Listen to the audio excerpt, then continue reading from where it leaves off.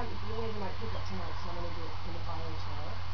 Um, I just noted it was, it's that sparse burning, there's hardly any fuel in here at all. And it's just dead twigs and stuff that I found around the yard. And I had this wonderful um, thing that you put into fires to get them to not so quickly. It seems to smell really good, so I thought I'd try it. and then I have this cool fire cake that um, a friend my friend's husband makes them. He and his kids them, and so I'm going to use it as a starter. And just a little bit of alcohol because alcohol is cheap and it works really well too. So, and I use a lot of propane because I want to make sure that I get the, the burn totally started before I put the lid on it, the chimney on it, because that way it doesn't smoke. And I want to, I use these things in the house, so it's real important for me not to have them smoke. Okay,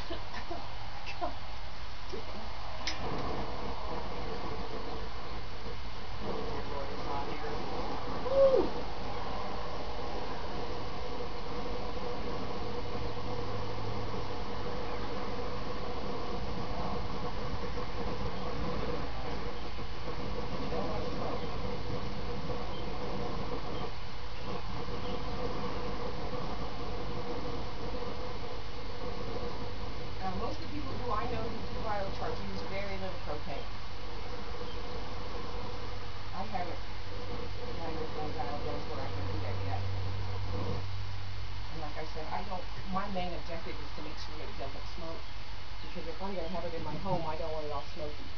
Yay! It's smoking a little bit, but that's okay, because we're outside, so who cares?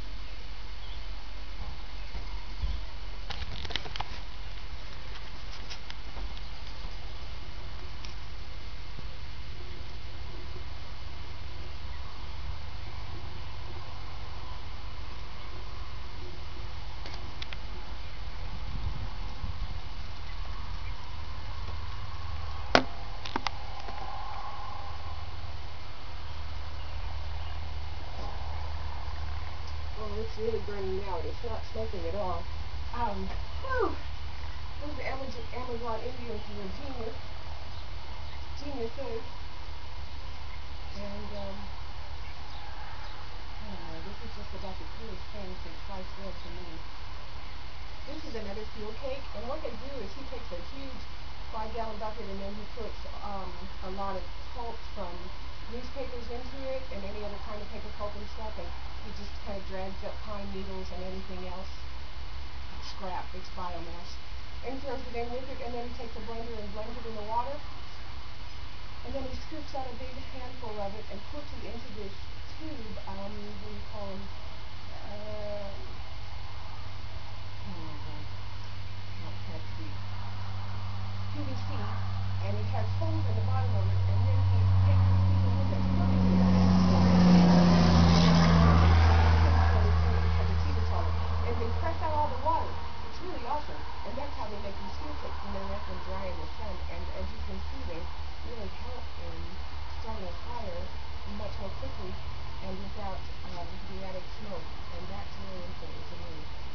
This is still pretty cool. I don't know how it's hard to a mother up here, but it's still real cool it says here and here. Of course, you can still move this if you have the notion to do that.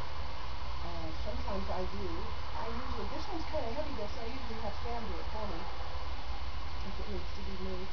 I always put it on a metal plate or something because the fuel cell sits in here and this vessel, the holding vessel, doesn't have a bottom, so that way if there are any kinds of sparks or anything that uh, could catch my house on fire, it'll fall on this metal plate instead of my carpet, my floor. Mm. Anyway, this is the May burn. And then after this is completely out, I will take the char. Well, I'll have to snuff it. That's another thing about biochar. Most times, if it continues to burn, if you let it burn all the way, um, it'll burn all your char up, and that's when you're most likely to emit CO emissions. And so I, you want to